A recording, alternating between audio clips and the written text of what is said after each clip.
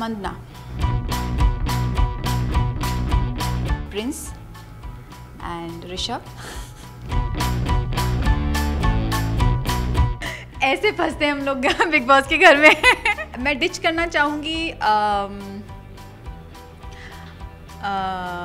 कीत को because I think वो बहुत, कुछ ज़्यादा ही समझदार हैं, बहुत ज़्यादा ही समझदार हैं।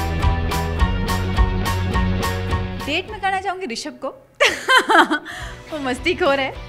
और uh, हमारी ट्यूनिंग बहुत जमती है इस मामले में। Of course prince is marriage